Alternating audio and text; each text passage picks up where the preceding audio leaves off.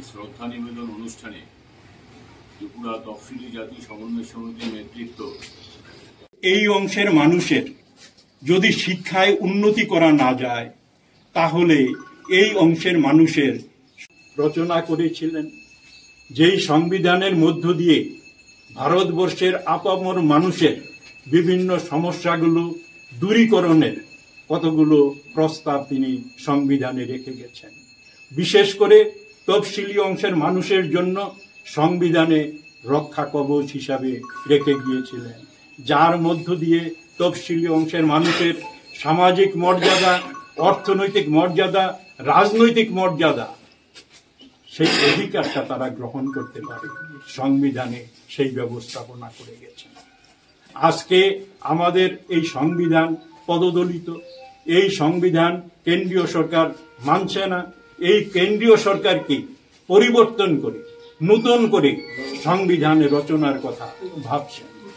আগামী দুই হাজার তেইশে ভারতবর্ষ হিন্দু রাষ্ট্র করার জন্য বর্তমান আরএসএস পরিচালিত বিজেপি রাজনৈতিক দল সেখানে চেষ্টা করছে এবং নতুন করে সংবিধানে রচনা করার জন্য আরএসএস এর উপর দায়িত্ব প্রদান করা হয়েছে। যে সংবিধান আমরা আমরা দেখেছি যখন উনিশশো উনপঞ্চাশ সনে আমাদের এই সংবিধানের প্রস্তাব গৃহীত হয়, তখন আরএসএস সেখানে বলেছে যে আমরা এই সংবিধানকে মানি না। আমরা চাই ভারতবর্ষে মনু সংবিধান প্রচলিত। সেই মনু সংবিধানকে আবার হিন্দু রাষ্ট্র কায়েম করে, এই মনু সংবিধানকে ভারতবর্ষে নিয়ে আসার জন্য পরিকল্পনা চলছে। আপনারা মনু সংহিতা সম্পর্কে জানেন।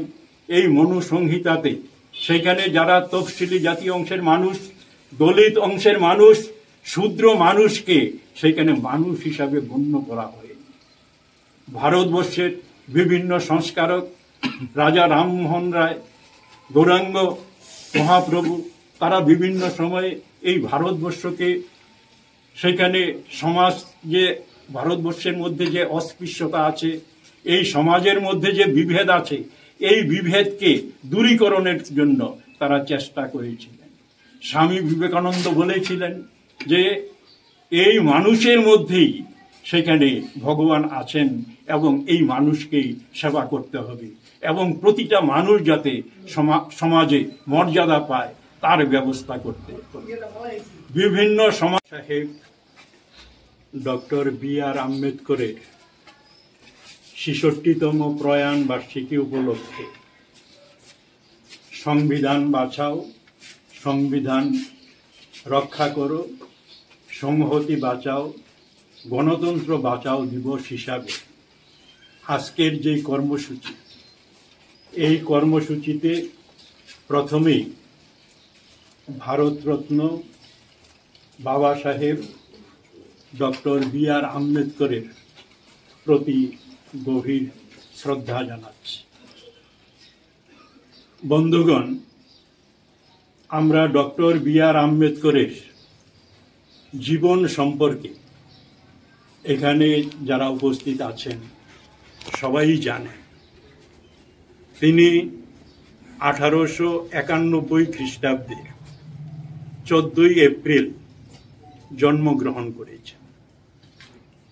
জন্মগ্রহণ করার পর এই ভারতবর্ষে ওনার জীবদ্দশায় তফসিলি অংশের মানুষের উপরে কি ধরনের অত্যাচার, কি ধরনের অস্পৃশ্যতা তিনি প্রতিটা ক্ষেত্রে সেগুলো উপলব্ধি করেছেন। ওনার প্রথম জীবনে যখন বিদ্যালয়ে লেখাপড়া করেছেন তখন তফসিলি অংশের ছেলে মেয়েদের উপরে। কি ধরনের অত্যাচার হয়েছে? তখন থেকে ওনার মনে পিছিয়ে পড়া অংশের মানুষের, দলিত অংশের মানুষের, তাদের উপরে এই যে অত্যাচার, কেন এই অত্যাচার? এই বিষয়ে ওনার মনের মধ্যে রেখাপাত সৃষ্টি হয়েছে। তিনি তার ছাত্র জীবনে মেধাবী ছাত্র ছিলেন এবং উচ্চ শিক্ষার শিখরে তিনি অবতীর্ণ হয়েছিলেন।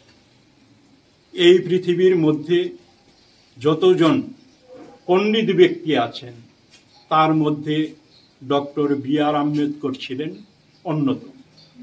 তিনি বিভিন্ন ইউনিভার্সিটি থেকে বিভিন্ন ধরনের উপাধি পেয়েছিলেন আমরা দেখেছি ওনার কর্মজীবনেও অত্যন্ত সুখ্যাতির সঙ্গে তার কর্মজীবন পালন করেছেন।